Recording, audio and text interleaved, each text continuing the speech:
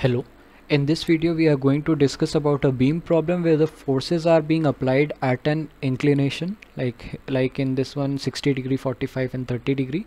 So there is a particular procedure to model this in ANSYS uh, that uh, incorporates a method known as uh, rotating of nodes. So basically over here if we can see if this is the perpendicular so we have to rotate the node clockwise in as 30 degrees. So 90 minus 60 we have to do. So we will just see what we have to do. Let's jump into ANSYS preferences I'm going to give structural preprocessor element type to be beam 2D okay. Then material properties material model structural linear elastic isotropic. And this is given to be so close sections beam and common section. This is divide, uh, defined as 0.2 and 0.3 can click on preview to see the preview to hide it just replot. And uh, next I'm going for modeling. Create key points in active CS first one is at origin just just apply it. So it's created. Second one is at 1 meter. Third one is at 2 meters. Fourth one is at 3 meters whereas fifth one is at 4 meters. So we have created five uh, key points. I'm going to create lines. 1 to 2 2 to 3 3 to 4 4 to 5 okay.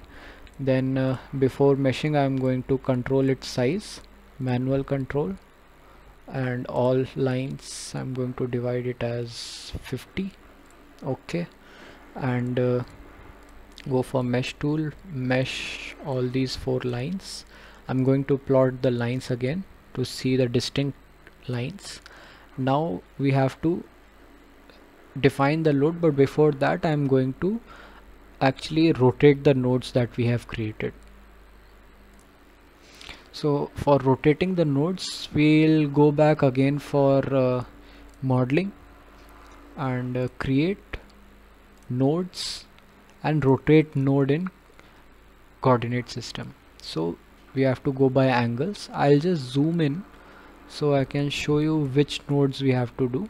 So this is a uh, bluish line and this is a violet line. And in between there this this particular node we have to turn. So click by angle click this node apply.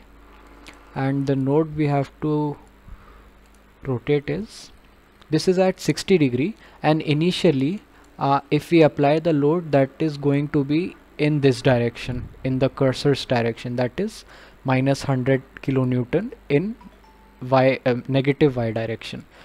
So in order to rotate it by this much degree how much we have to rotate? So if this is the initial position like if we don't rotate and directly give it as uh, fy and negative direction of 100 newton so it will po point downwards but we have to incline it at this much by this, this much degree.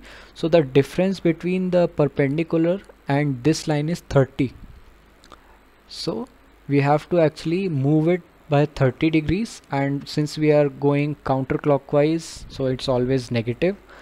That's why uh, we take uh, minus 30 so we are moving uh, clockwise. So we have to take negative from the perpendicular to this much we are going 30 degrees. So just keep that in mind.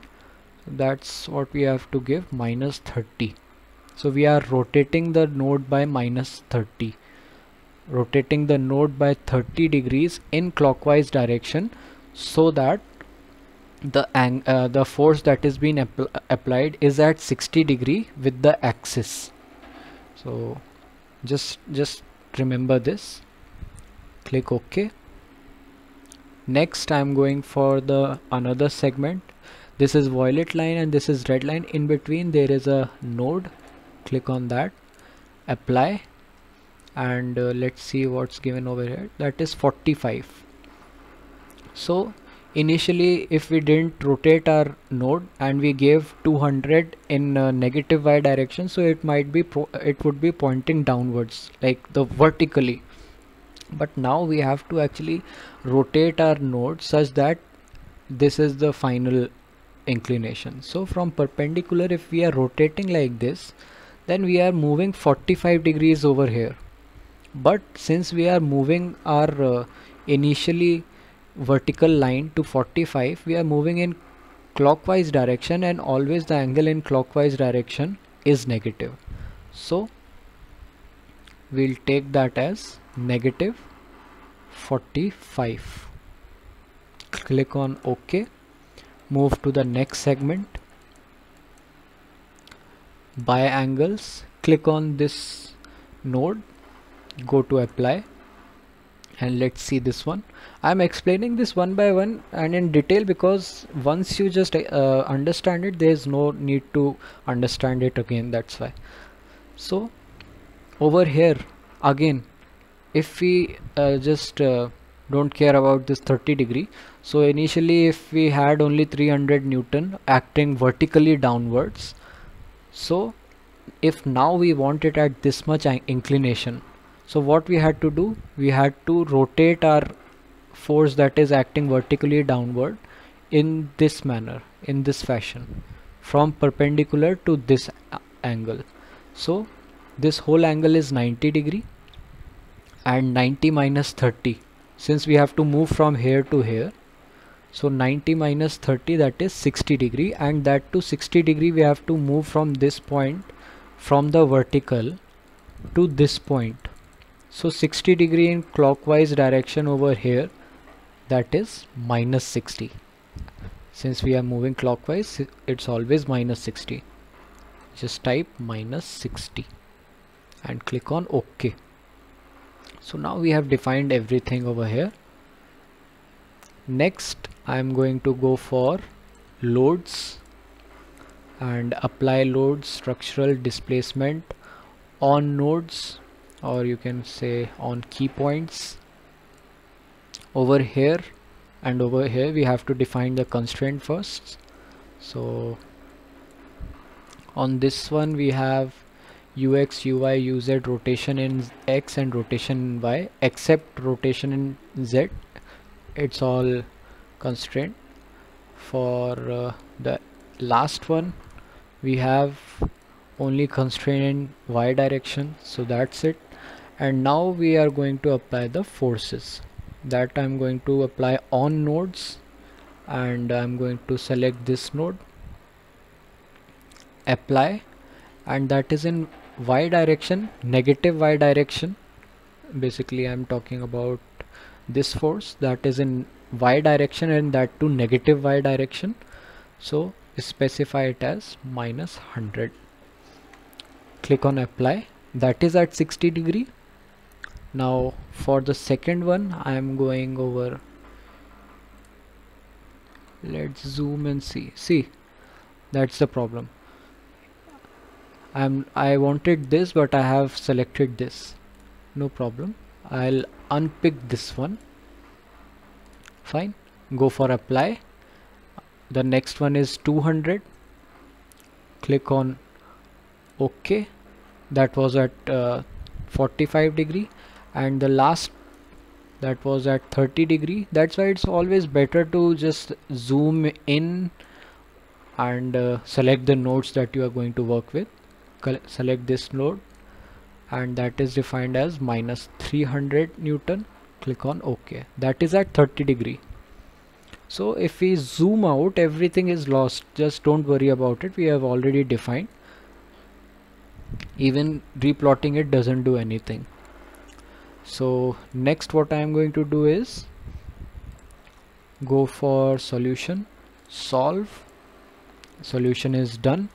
Next what I want is uh, I can either go for displacements. I can uh, go for nodal solution DOF and displacement vector sum.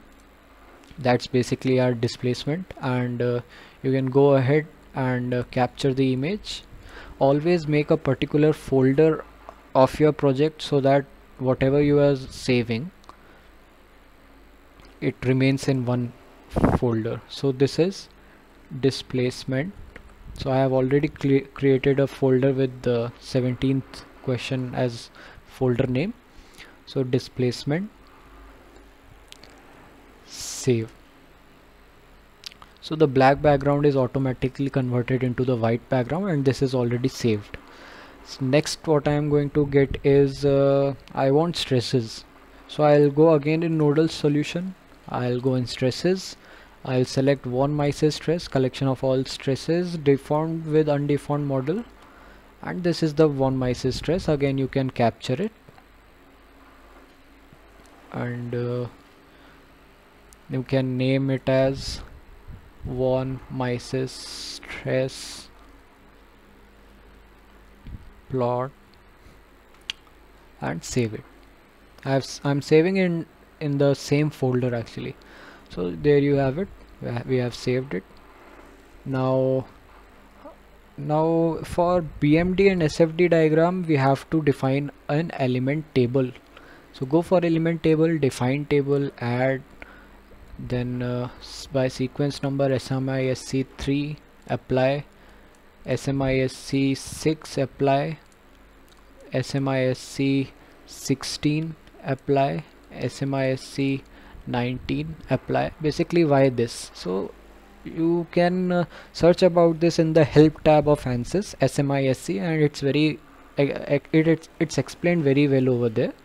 So basically the combination of 3 as well as 16 will give us bending moment diagram and combination of 6 and 19 will give us the shear force di diagram. How? We'll just do that in the next step.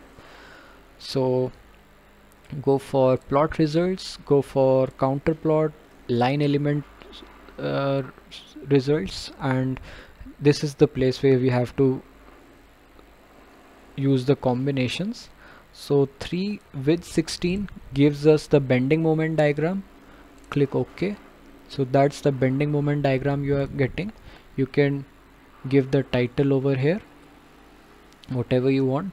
And the next thing I can get is uh, the shear force diagram that is 16 and 19 6 and 19 gives you the shear force diagram. This is the shear force diagram.